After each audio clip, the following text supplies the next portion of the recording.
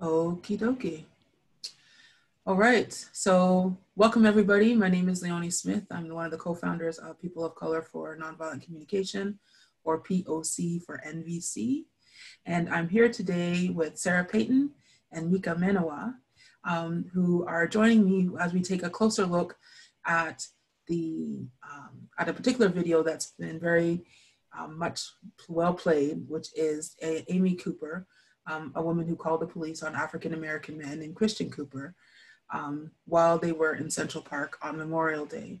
And we're taking a closer look at this video. So um, we're inviting the commentary of Sarah and Mika, who both have um, uh, do education and have information to share with us about what's happening in the brain and body during these moments. Um, so if you want to introduce yourself, uh, I'd like to start with you, Sarah.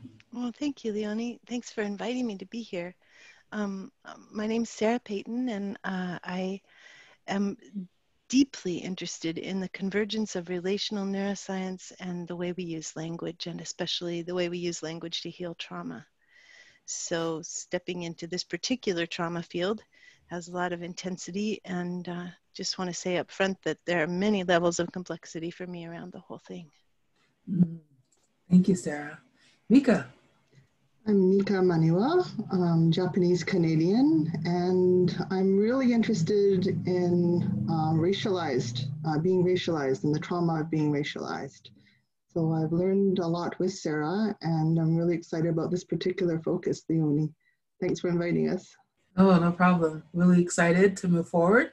So basically what we're going to be doing is, um, as I said, we want to take a closer look at this video, um, having a and want to walk away with a better understanding of what's happening with the brain and body, and also what interventions um, are available to us when we um, witness these types of incidents. And so we'll be watching the video and kind of pausing and inviting commentary from uh, Sarah and Mika and questions from myself. Um, so I'm gonna go ahead and share the video. We're gonna get it started. And just going to load it up here. And then we're gonna share screen. And we'll get started. Okay, I'm just maximizing it and making sure that we have good volume, and we'll start.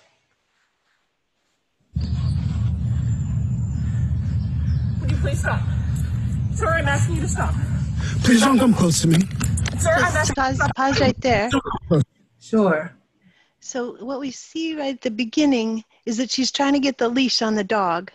Mm. So and what we don't see before the start of the video is that she's um, that he has taken a dog treat out because she won't leash her dog and he said to her you don't want you're going to do what you want to do i'm going to do what i want to do. And he's going to treat her dog i think maybe to take the dog away or to be able to hold on to the dog until she leashes it. I don't know what the thing with the treats is but she my guess is that she's starting with a sense that he's threatening the dog and that she needs to put the leash on the dog. But then she sees that he's recording her. And this suddenly becomes oh, the overwhelming thing that she then is talking about and, and trying to make stop for the rest of the video. And uh, she becomes, she completely loses track of the dog, starts hauling the dog around. And we know uh, that th- this is one of the horrifying things about stepping into this particular trauma field we know that more people were worried about the dog afterwards than were worried about Christian Cooper. Mm-hmm. That there was this flood of calls into the ASPCA asking them to take the dog away from her because mm-hmm. the dog was being mistreated without any kind of s- social echo for the i mean there was some social echo for christian cooper but not the way that that response was about the dog so this is one of the things about the that's horrifying for me about our whole take on race and systemic racism and white supremacy it's just mm-hmm. yeah so there's a huge so warning he's trying to just solve a problem which is to get the dog uh, not to run after birds yeah. And she's perceiving threat and she's starting to just lose it. Yeah, but she's losing it more about being recorded. Being recorded seems to be her nightmare, which is really ironic considering that, of course, she's lost her life uh, in terms of her professional life and her reputation from having been recorded. So uh, she was right to be horrified that she was being recorded. yeah. Mm-hmm. Yeah. So, but then now here, this is important. And Mika, you said you saw a look on her face. Have we seen it yet, or is no, it not yet? Not yet. Okay. Yeah. So right now we can see her face. It's probably the best time we can see her face, but it's still pretty blurry. What we see in her face is concentration. We're not seeing the signs of fear. She's coming close to him, which is not a sign of fear. She's left whatever fear response she may have had that we didn't get to see about the dog and the treats and now she's in some different she's in a different space. She's coming close to him. We don't come close to people that we are scared of. We try to get away from them. So yeah go ahead type of aggression or um, what would you name it? I would name there's not a lot that we can see in her forehead. I don't know if she's like sometimes people have cosmetic stuff that stops them from having any forehead lines but she doesn't have either the lines of fear or the lines of rage right now Mm-hmm. So you're saying above the mask is where we mm-hmm. can see the fine lines of mm-hmm. like what what are you looking at? What yeah, well, especially here, we can see both, you know, anger and fear is is a, a response where you can actually see the whites of the eyes above the pupil. So we're not seeing either of those things on her face, and I don't know you know, I, I, wish that we got to look at her face frame by frame to do this because it would tell us so much. But mm-hmm. my guess is that right now she's trying to solve a problem, which is that she's being recorded and she's totally against being recorded. She's trying to take the phone away from him or turn it off or cover it. And he's saying, please don't come near me. Please, they're both so polite through the whole thing. Please don't come near me. And he's stepping away. We see him stepping away and sh- then we can keep going now. Yeah, okay. The other thing, too, that I'm wondering if, if you want to comment on is the fact that there is a third person there. Christian oh. Cooper was walking with his sister, and she oh, is did not. Did she take with, the video? Oh no, she was the one who posted the video. Yeah, she posted the video. Yeah, she was. Horrible. I find that very interesting that there's no yeah. engagement. Yeah. Um, in any of these so far, mm-hmm. with the with with his sister who was standing with him.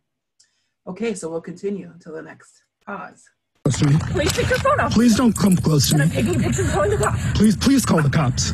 We still aren't please seeing any change in her eyebrows. African American man threatening my life. Please okay, tell me. Now, stop it again. This is outrage. Mm. This is not fear.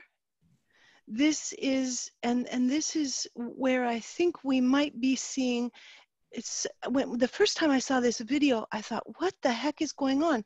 Here we are, New York City. Where is the cussing? Where is the fuck you? Where mm-hmm. is the um, where is the streetwise aggression? You know, nothing. I was like, what the heck's going on? This woman is not a New Yorker.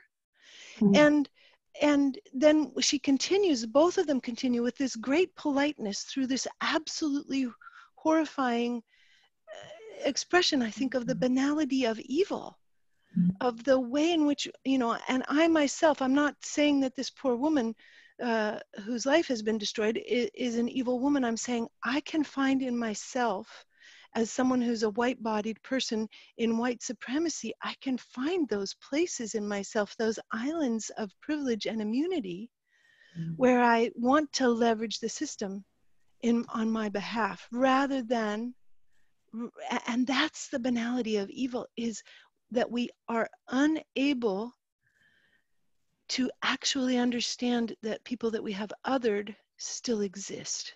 Mm. So, so this mm-hmm. is a bit what we're stepping into. I think she's appalled and outraged that someone who she, this is pure speculation, I don't know her, that someone who she may consider to be lower than herself socially, how can this person be asking her to leash her dog? Where does this person have the authority to have any demands on her at all? Mm-hmm. And so now she begins to leverage her social location. Well, because he said no. Yeah. She tried to get him to change his behavior. Right. And now she's completely focused on controlling the environment Yeah. rather than owning her own reactivity, Right. seeing the uh, the the person, the two people in front of her face is human. Yeah. Yeah. She's not. She's not in relationship. Mm. She, I, I have a sense she may be actually panicked about being recorded. Mm. Thank you. Oh. Okay. All right. Shall we continue? Yeah. All right. Excuse me? And so that's stop again. So then here she is. They're so polite. She says, "Excuse me," before she calls. "Uh, Excuse me, I'm going to take my attention away from you to call the police to try to kill you. You know, uh, uh. Yeah. I'm taught that she has Canadian roots, so that kind of veil of politeness over disconnection and mm, um, Mm. yeah, mm, cold violence. yeah. It's familiar to us. Oh, All right.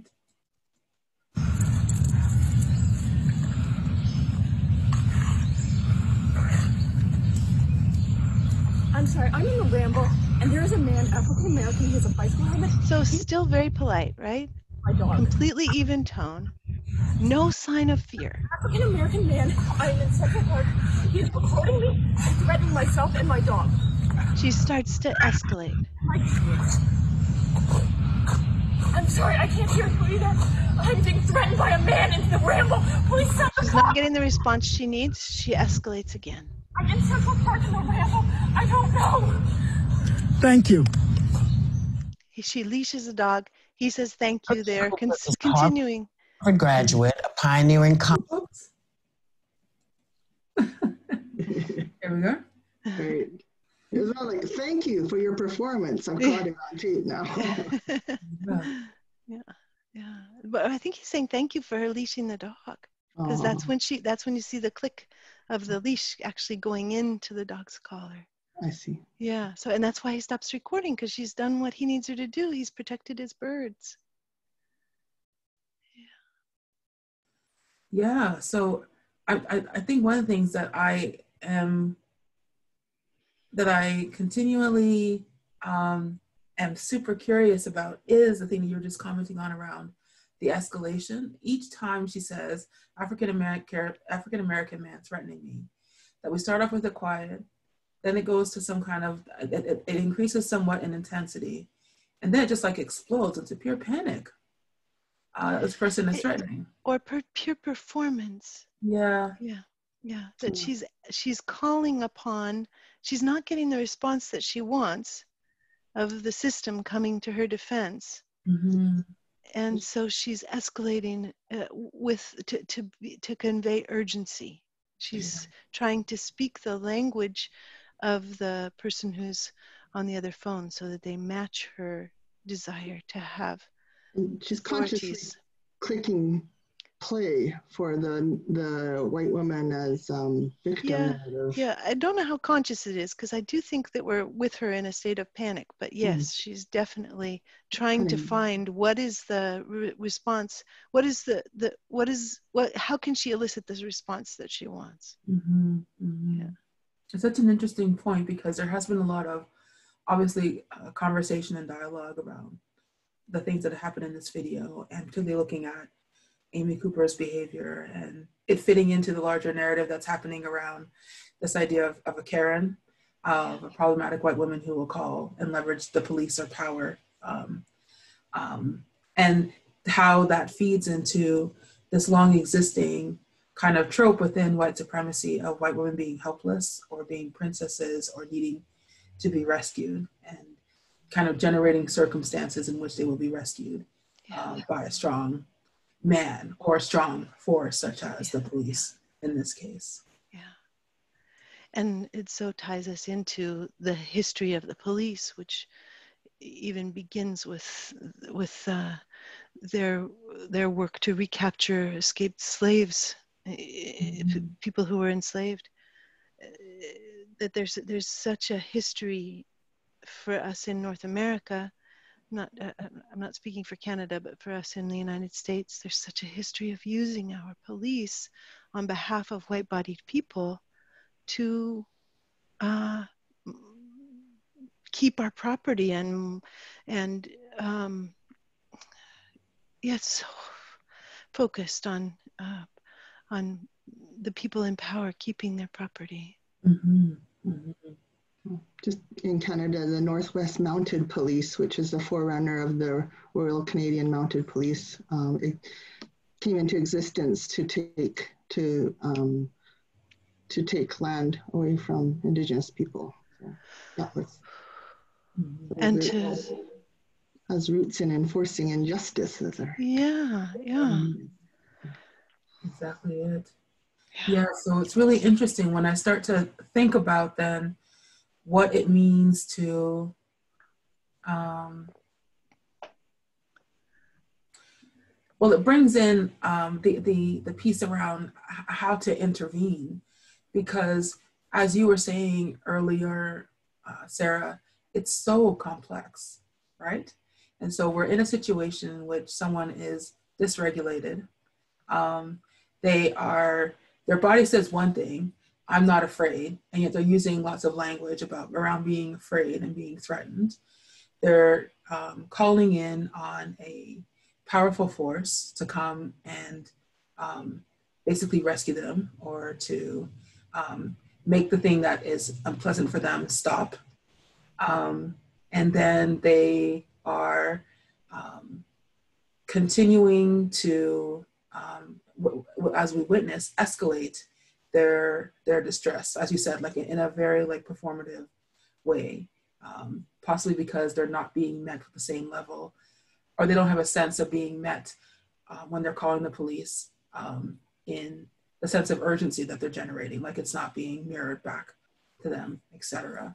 And so it so it's all these things are present and so much more, right? Because and so much whole, yeah. the whole thing about what's happening with the face and what that means and um, you know, there certainly other things are can be named here, like the impact of we talked about like white supremacy, and certainly that's where the lethality comes in. Yeah. Um, but then also around like patriarchy, you know, at what point does like um, you know mental distress all these different things are coming into play so when we're if we were observers of this action um, and with a fuller understanding such as we're developing in this conversation of what was actually happening. I'm really curious about us maybe taking a look at the video again and looking at are there where are the moments of intervention and how does our understanding of what's happening um, the, the complexity of what's happening shape the kind of interventions that we could potentially do um, and i'm interested in that perspective from uh, so intervention obviously from a witness perhaps that's watching this incident also curious what um, someone who's the target of this kind of action, is there something that they could do to um, support what's happening in terms of this, of a, a person who's dysregulated and, and targeting them? And also interested in the perspective of the person who is dysregulated.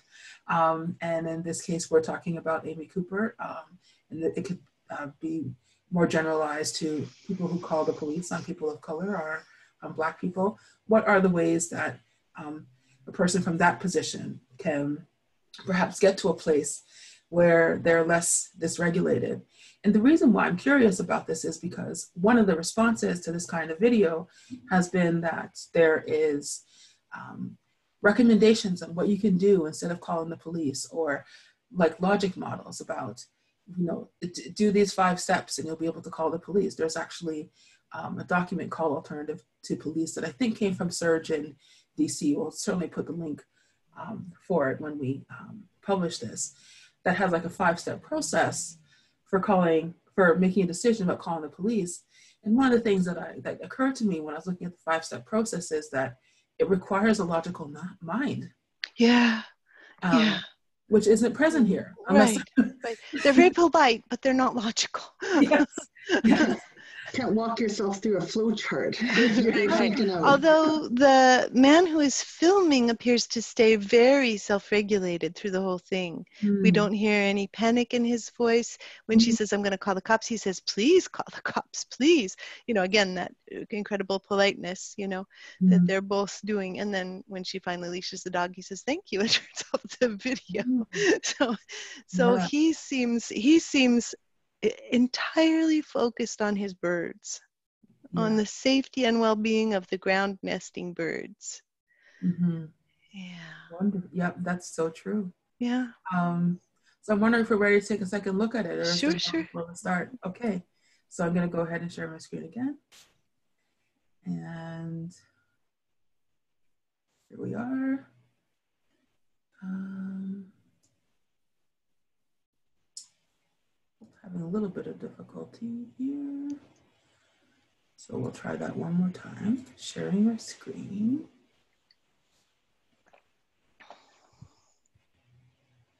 And here we go. And we'll start again. And again, please just let me know if you'd like me to pause. There we go. So before we even start, mm-hmm. before we even start, Leonie, I, I, believe that there were a couple of interventions that would have been possible bef- before mm-hmm. this point. Mm-hmm. and one of them would have been because look, see, she's she's going to leash right now. Yes. And uh, one of the things that would be possible is for him to let her know that they're just dog treats; they aren't poison. Mm. And to be able to say what it is he's trying to do mm. with the mm. dog treats. I don't mm. believe he has this responsibility, but it's simply a possibility in terms right. of him tracking uh, that she might have been panicked about the mm. uh, about the dog treats. Mm. So, okay, go ahead. All right.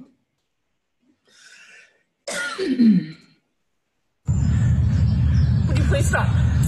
Sorry, I'm asking you to stop. Please don't come close to me. Okay, now she's panicking. Let's stop it again. So she looks up and she sees that he's filming. So this is where she starts to become outraged. And uh, some people are very, um, very touchy about being recorded. Mm. Um, so one of the possibilities, again, an intervention for on his part would have been to put the camera behind him and say, I'm filming you because you're not leashing your dog. Mm-hmm. If you leash your dog, I'll stop filming. Because she's getting upset enough that she's losing the thread entirely. Mm-hmm. So so those are interventions from his part but as i said before these are not his responsibility to do yeah and that's such an important part it's not his responsibility but what i'm hearing you say is that or, or what's obvious here is that he is regulated and she is not. And so yeah. he might have more choice available to him. Yeah. Although he may be very care, he may be very, have a very deep uh, care for wildlife. Mm-hmm. That's that's that's got him in a mm-hmm. state where he doesn't have access to some choices that he may have had. He may be very determined to protect and care for the mm-hmm. species mm-hmm. that he's seen come back. I think they, the birders in New York right. have seen the species come back from this ground being protected. Mm-hmm. Um, but let's talk about interventions that she could make, and then mm-hmm. let's also talk about bystanders. Mm-hmm. So, interventions that she could make would be already back when she sees him recording mm-hmm. her to turn around so that her face is not visible. Mm-hmm and to call out to him, I am so terrified of being recorded. I can't function, I can't leash my dog. So, this is a movement into transparency, which is not uh, probably available to her, as you've pointed out, Leonie, but mm-hmm. it's something that we can learn to do in our practice of what is it like to be human and use language at the same time. We can actually begin to use language to mm-hmm. say what's happening for us. Mm. So or she's wearing a hoodie. Yes, go ahead, Mika. So with training to give a play-by-play of our intentions and our yeah. actions at the same as yeah. simultaneous. Mm. for her to be able to mm-hmm. say aloud, I'm shaking, I'm terrified, I can't leash my dog, you're recording me. She could also put her jacket hood up. She's wearing a hoodie. She could put her jacket hood up so that she's not vi- so visible. She, so that she was taking care of herself a little bit instead of trying to make him change his behavior to take care of her. Mm. So um, safeguarding her privacy without making it his. Um, yeah, yeah. Putting the onus on him to change. Right, right. Which is. And what I would also love for any of us who are in this situation is to ground ourselves in the in the sort of the larger theme of what's happening. So it would be wonderful if she could have said, I understand you really want me to leash my dog. I don't understand why yet, but I'm going to leash my dog because it appears to be so important to you. Like then he would exist for her. Mm-hmm. And he doesn't exist for her, which is the whole, I love that word, Leonie, lethal. The lethal quality of white supremacy is that the others, whoever they are, you know, and you know that the Ku Klux Klan in Maine didn't have any African American people to target, so they targeted Catholics and burned down Catholic churches and put in burning crosses on Catholics' lawn uh, mm-hmm. yards. So when you go to Maine, you actually see that there are Catholic churches everywhere else in the world. The Catholic Church is right in the middle of town. In Maine, the Catholic Church is off in a valley so that it's more protected and not so obvious as a target. So it doesn't matter who the other is to the mm. white supremacist. What matters is that there's a hierarchy that they get to be at the top of. Mm-hmm. It doesn't matter who the others are, it just matters that there are others and that we target them. And what this does when we other people and create in groups and out groups is we get a dopamine and oxytocin reward. Mm. Unfortunately, it's part of the unfortunateness of us being humans, is that we get like in some way for me, even in this moment, othering Amy Cooper, who I'm probably more like than not like, I get to I get to go, oh, she's not me. I get to separate myself from her I mm. get to have a rush of dopamine and oxytocin because I'm creating an out group. She's in the out group. I'm satisfied and calm because she's out there. And this is the horror. And this is why I use that term, the banality of evil. This is the horror of our human brains and the toxicity of, um, of colorism. Uh, yeah, it's yeah. absolutely terrifying. One of the things that I find, sorry, Mika, would you go ahead? No, go ahead. Okay. One of the things that I find really interesting is that the very things that you describe, that these are systems and they're being expressed right now in terms of individuals that are yeah. communicating or failing to communicate. So it's not as though um, I would imagine that Amy Cooper, in this case, is um, in any way aware of or would even attribute to herself the sense of othering or not being able to see Christian Cooper or any of those things. And in fact, in the aftermath, in her apology, she says, I am not a racist. Yes. Which is absolutely bewildering. Yes. Yet common. yeah. Yet common. Yeah. yes. So it's yes. that for, for me, it's like it brings up the question around how um, the systemic shows up in individual behavior, and yet um, individuals are divorced from um, from the the systemic beginnings of that, that lead to their actions. Yes. So Amy Cooper would not necessarily see that um, much of her existence or her identity is tied to white supremacy. Right. Yet white supremacy is a thing that is driving much of her behavior in this particular um, yes instance yes throughout even before the recording begins mm-hmm. the fact that she's being asked to do something she doesn't want to do by somebody who's in another group mm-hmm.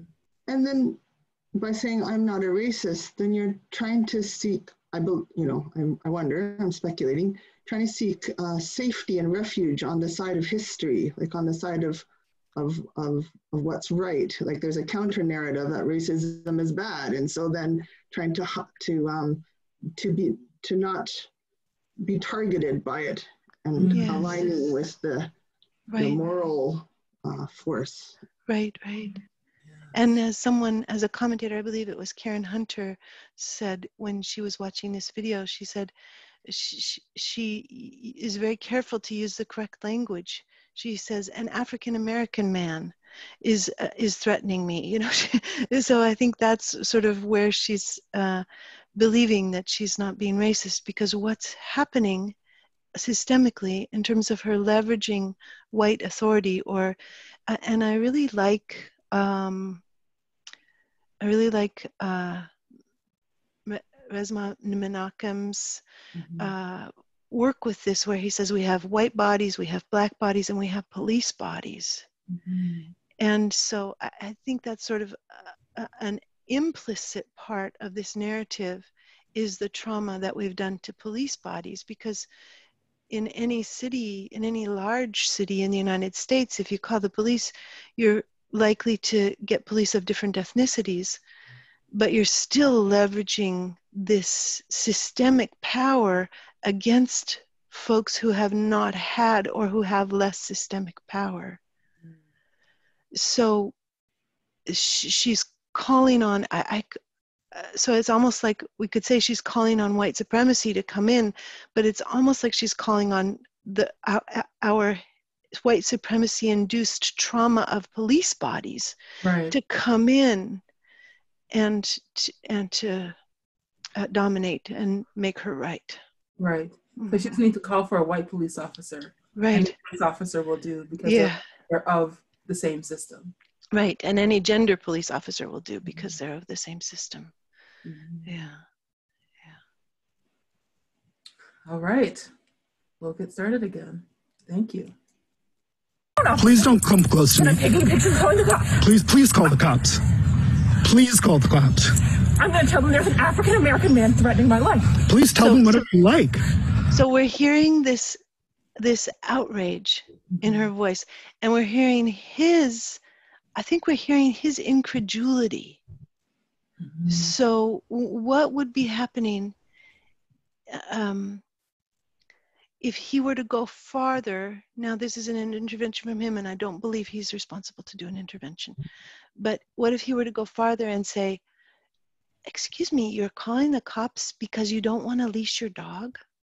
Mm-hmm. Because I don't think he gets that she's freaking out because he's recording her. But I do think he is leveraging the recording to try to get what he wants.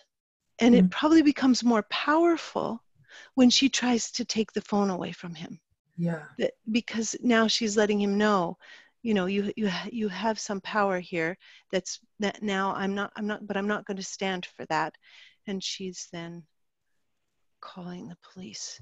Mm-hmm. So on her part, what I would want from her would be again more self-responsibility. Mm-hmm. I would want her to be able to say, I'm you're telling me not to come close to you. I need you to stop recording. I need you to stop recording. I need you to stop recording. And for him to be able to say to that, for that to make space for him to say, I'm going to stop recording if you just leash your damn dog. And eh, so there's something that can happen when we step into transparency and vulnerability, no matter who we are. It's a, it's a systemic power equalizer Mm. And it invites people out of the systemic because they're both in the systemic into the personal. Mm. And I'm, I'm realizing we're not catching bystander interventions, so we could we could add that now or we can go back through and talk about well i'm actually curious though like in the very kind of commentary it seems to me that bystanders might be better equipped in this configuration yeah be able to give that commentary yeah yeah they're not active yeah. in, the, in the interaction. Right. perhaps see that like, oh, if you turn, if you don't, if you stop at the camera, she might be able to leash her dog. Exactly. Or they can uh, clarify from or if if you leash your dog he'll stop recording you yeah exactly exactly remember his issue Yeah. i mean this is what i want a bystander to do i want a bystander to put their body in between the two of them and Mm. to say to her you're scaring the birds. He loves birds. He just wants you to leash your dog. Are you capable of responding? Like to bring that grounded yeah. request based you know information full yeah. uh yeah. So yeah that's calling really it yeah up go here yeah. to the front part of her brain. yeah yeah. And But- also by saying he cares about the birds also calling into her heart like do you get it this is a man who loves birds more than anything else your dog is not good for the birds do you get it Mhm. But she's on a. Is she?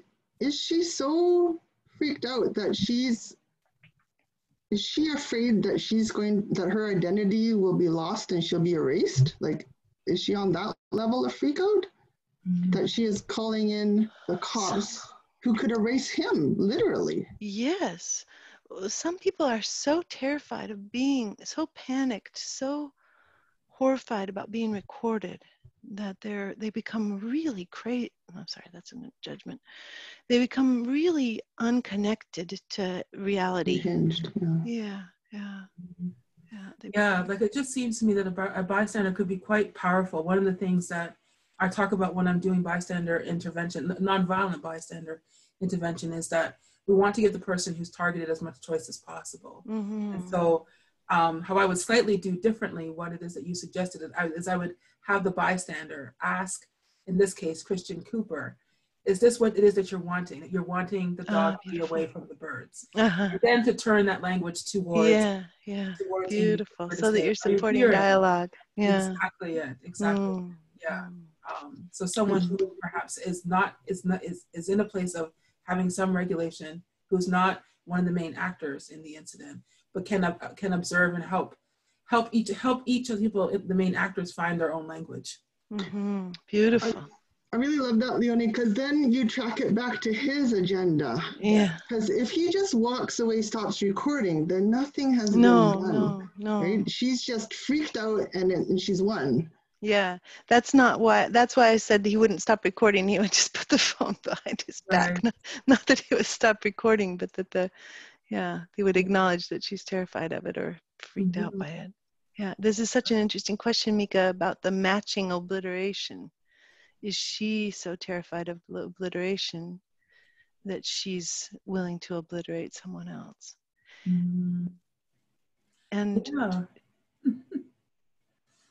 And that's that's I think that's a really interesting question for now because because of not only this incident but many other incidents like this and then also connecting it to with the fact that at the because the the next day is the day that George Floyd was murdered by police. Yeah. So I think what's what we're seeing now, certainly this is in terms of people that I'm connecting with, is more and more so-called white folks are like, I don't want to call the police, but there's not, but they don't have options for who else to call. And so what I'm what I'm hoping that people are getting from this conversation is you might have options available to you, certainly as a bystander Yeah.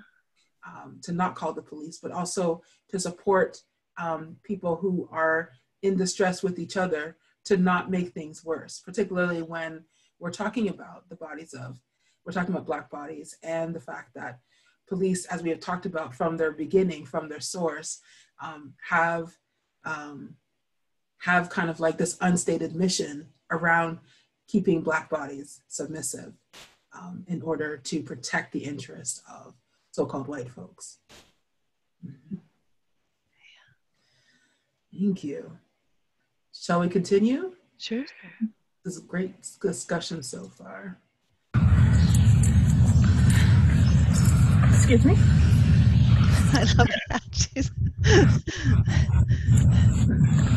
The politeness. and she gets away to take her face mask off. So she's social distancing. I'm sorry, I'm in the Ramble, and there is a man, African American, who is a bicycle helmet. He is recording me and threatening me and my dog. There is an African American man. I am in Central Park. He is recording me and threatening myself and my dog. As she's invoking state oppression. Say that again, Mika. As she's invoking the apparatus, the state Yeah. apparatus. Yeah, yeah. She's entirely moving systemically. She didn't get to have personal power. She didn't have any sense that he was listening to her. And now she's escalating to a point where it's lethal Hmm. over a dog leashing. I'm sorry, I can't. Yeah. It's interesting. I'm, I'm thinking again from the, pers- the different perspectives that we talked about.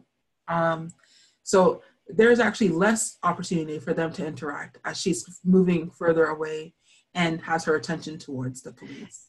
Again, again, if I were a bystander, is this really what you want? hmm Is this do you understand that calling the police is is a is threatening someone with death, someone who's a person of Mhm. color with death? Do you understand? Do you understand? uh, Is it so important to you not to leash your dog that you're willing to threaten someone with death? Mm. Yeah. I don't think it is. I don't think that's what's at stake. And I think if she were challenged, even here, by a bystander, yeah, Yeah. Hmm. Well, we're near the end. We'll just con- let it continue. Okay. I'm being threatened by a man in the ramble. Please send the cops immediately. I'm in Central Park in the ramble. I don't know. Thank you. he leashes. She said, she leases. He says, "Thank you," and he turns off the recording. Yeah. He's so focused. I kind of wish there was just a crowd of hippies with tambourines coming through to take the, the attention off the Yeah. Yeah. Hmm. It's, it's there's so much sorrow in me for the sorrow, sorrow and fear and outrage that Mm.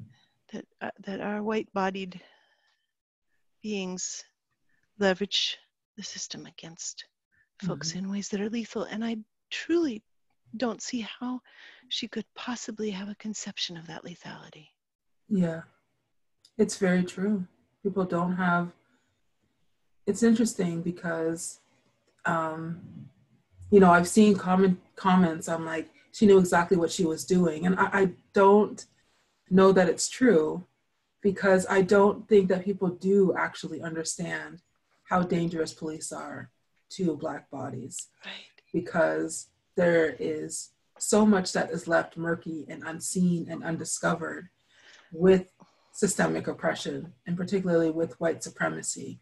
Like there is not and there does not seem that unless people step towards that inquiry on their own you know through um, relationships that they have with people of color through reading um, through studying it um, you know even reading some something like Resmaa Menakem's book which is really clear about kind of where um, linking this all back to trauma that is like centuries years Yeah. old Yeah. um, then uh, people do they, they don't ever get to catch that thread about what is actually happening here And as long as we stay, uh, this was something that I uh, um, that I saw Dave Chappelle Mm. saying.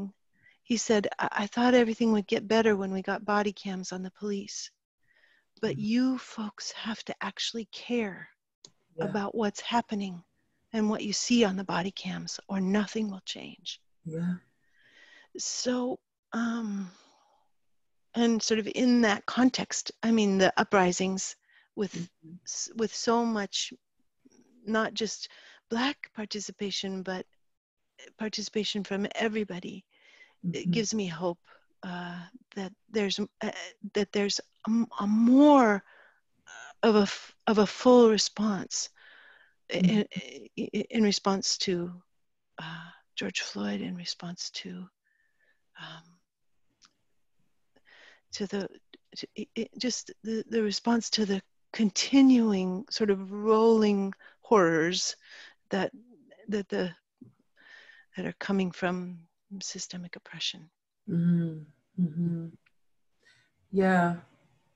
Um, for me, the hope comes from um, it's conditional, I think. Yeah. I'm seeing more and more people taking that kind of interest that we said has not really existed, like, like caring about what's happening. Yeah.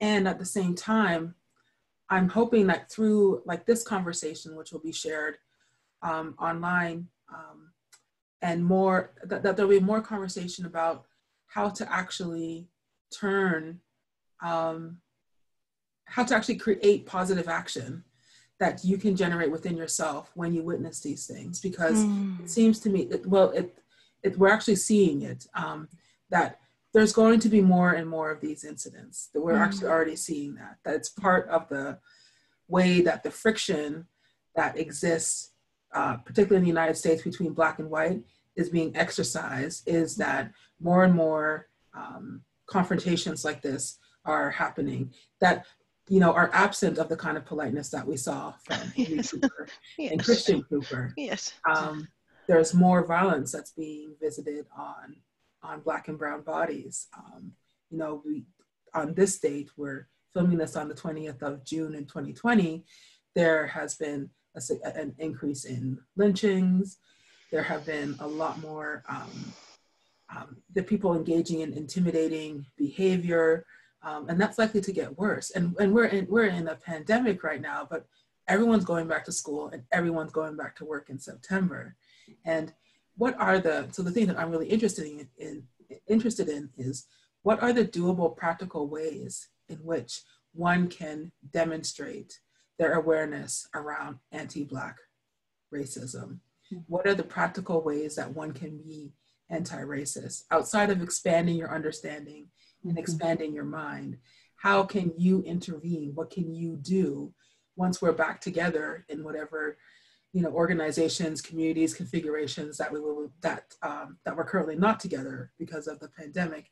What can one do? And so that's what i'm really grateful for this conversation because we've been able to name quite a few things about um, how people can intervene um, in, in similar situations that may occur possibilities for showing up differently yeah exactly it exactly it and then that for me that that amplifies the hope that uh, gives it some substance and some foundation.